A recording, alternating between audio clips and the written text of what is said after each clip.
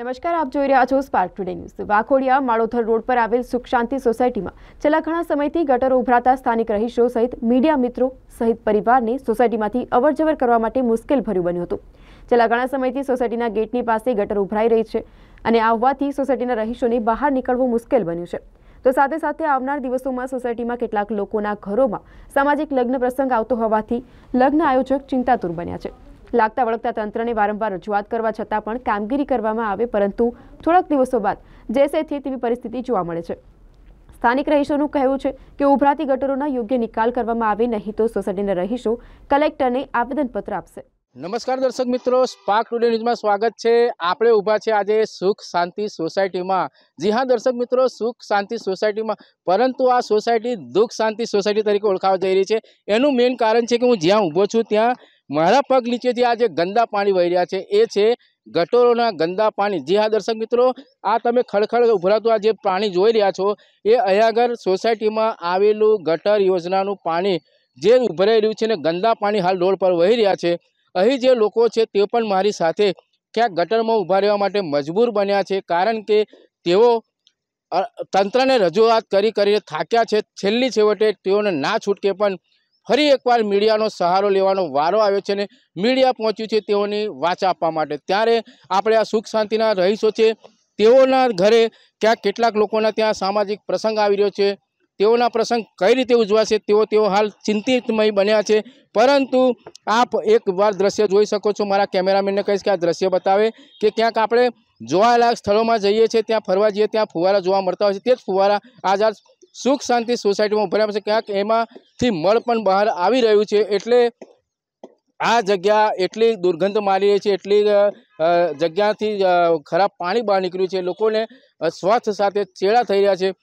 એનું જે તંત્ર છે એ ક્યાંક લાચાર બન્યું હોય તેમ લાગ્યું છે કારણ કે અનેકવાર તેઓએ રજૂઆત કરી છે છતાં પણ આવીને રિપેરિંગ કરવામાં આવે છે અને પરી પાછી પરિસ્થિતિ જેસે થે તેસે થાય છે એટલે આ સમસ્યાનું કાયમીપણે નિકાલ આજુ સુધી આવ્યો નથી જેને લઈ ફરી એકવાર આ સોસાયટીના રહીશો મીડિયા સમક્ષ પોતાની વેસર ઠાલવશે શું કહેશો ગંદા પાણીમાં ઊભું રહેવાનો વારો આવે શું કહેશો અમે વારંવાર તંત્રને રજૂઆત કરી કરવા છતાં તંત્ર કોઈ ઊંઘ ઉડાડતું નથી અને તંત્ર આવે છે તો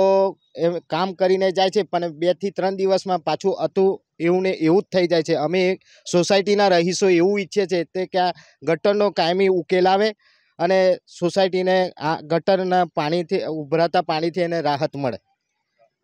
શું કહેશો કાકા વડીલ તમે તો આ સોસાયટીમાં રહીશો આ પાણી ઉભરાય છે મીડિયા પણ બતાવી બતાવીને થાક્યું પણ તંત્ર કેમ ના થાક્યું તંત્રને વારંવાર અમે રજૂઆત કરીએ છીએ તે છતાં એ કંઈ કાળજી રાખતા નથી એ લોકો અને કામ કરતા નથી સારી રીતે કામ કરતા નથી આ જે વડીલ છે તેઓના ઘરે થોડાક દિવસોમાં સામાજિક પ્રસંગ આવી રહ્યો છે જેને લઈ તેઓ ચિંતાતુર એટલા બન્યા છે કે પોતાના મહેમાનોને અહીંયા ગર આવવા માટે કેટલી તકલીફ ઊભી થશે કેવી રીતે મહેમાનોને આવકારવા કેવી રીતે બોલાવવા મહેમાનો કઈ રીતે સોસાયટીમાં આવશે અને પોતાનું જે જમણવાર છે ક્યાં કરશે તેનાલે ચિંતાતુર બન્યા છે શું કહેશો તમારી વેથા અમે જાણી ચૂક્યા છે પણ તંત્ર કેમ નહીં તંત્રને તંત્રને વારંવાર જાણ કરવા છતાં કોઈ ઉકેલ આવતો નથી અને લગ્ન પ્રસંગ આવે છે તો અમારે જમવા માટે ક્યાં બનાવવું અને શું કરવું મહેમાનોને ક્યાં બેસાડવા એને ચિંતાજનક છે અમારે હા અને અમારો મેન રસ્તો છે બીજી વાત કરીએ ભૂલકાઓ તમારી સોસાયટીમાં હશે લોકોને ભૂલકાઓને સ્કૂલે જવાની પણ ટાઈમ હોતો હોય છે ત્યારે તે પ્રકારે કયા કયા પ્રકારની પરિસ્થિતિ ઊભી થાય છે છોકરાઓને આ ગટરના પાણીની અંદરથી રહીને જવું પડે છે જેથી કરીને બાળકોના આરોગ્ય સાથે ચેડા થાય છે અને વૃદ્ધ વ્યક્તિઓને પણ આ પાણીમાંથી પસાર થવું પડે છે અને અત્યારે હાલ અમારી સોસાયટીની અંદર લગભગ ઘરે ઘરે ખાટલા છે અને બેથી ચાર જણ તો એવા છે કે આજે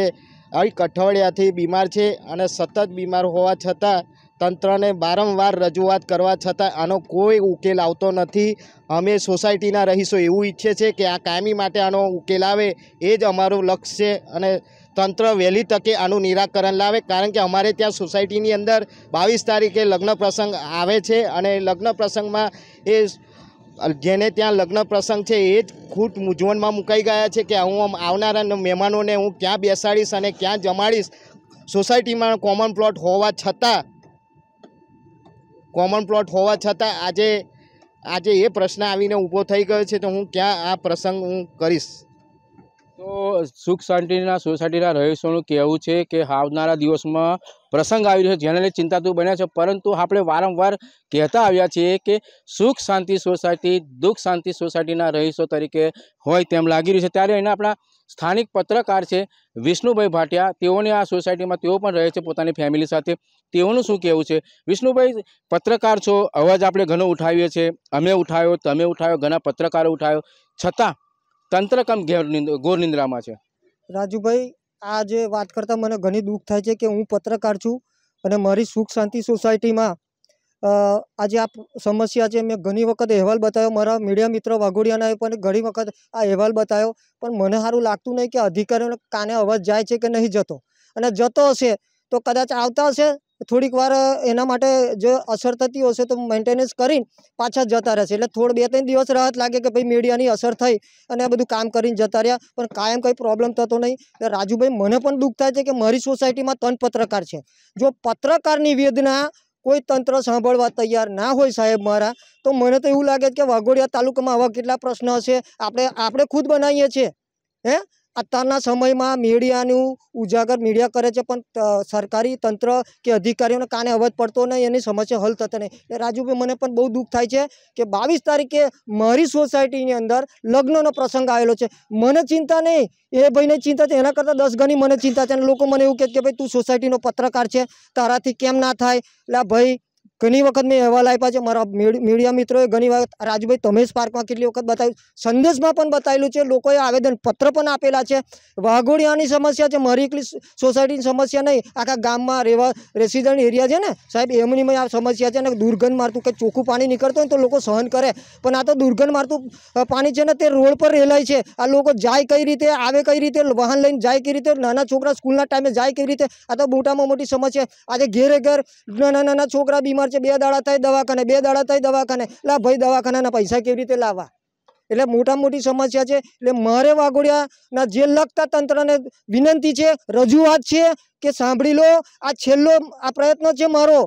બરાબર પછી મેં ટોળું લઈને કલેક્ટર ઓફિસે જઈશ જિલ્લા વિકાસ અધિકારી પાસે રજૂઆત કરીશ કારણ કે કરવું જ પડશે હવે હું થાય કહું છું મીડિયામાં બતાવી બતાવી અને લોકોય થાય છે એટલે મારી વિનંતી છે તંત્રને વિનંતી છે અધિકારીને વિનંતી જે પણ આ અહેવાલ જોતા હોય સ્પાર્કના મીડિયમ માધ્યમ દ્વારા એ તંત્રને મારી નમ્ર વિનંતી છે લોકશાહી છે મને બોલવાનો અધિકાર છે આજે હું બોલું છું પત્રકાર નહીં એક રહેવાસી તરીકે બોલું છું એટલે વિનંતી છે કે આ ટૂંક સમયમાં જુઆ સમસ્યા હલ નઈ કરી તો આખું મેળો લઈ વાગોડિયાનો જે રેસિડેન્શિયલ એરિયા છે અમર સુખ શાંતિ ને ઓ કલેક્ટર ઓફિસર જઈ રજુ વાત કરી છે તો દર્શક મિત્રો સુખી ની વાત જો દુખી સમજી ના શકે તો જગમાં દુખ ના રહે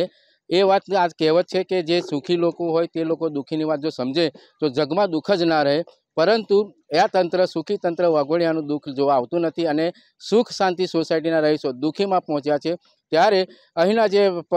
મીડિયા પરિવાર છે અહીંનું જે લોકોનું પરિવાર છે આ દુઃખીમય રીતે પોતાનું જીવન જીવી રહ્યા છે ત્યારે આ લોકોનું જે દુઃખ છે સમસ્યા છે જે ગટર ઉભરાવાની સમસ્યા છે તે દુઃખ ક્યારે દૂર થાય તે જોવું રહ્યું Raju Mansuri spark today news Waghodia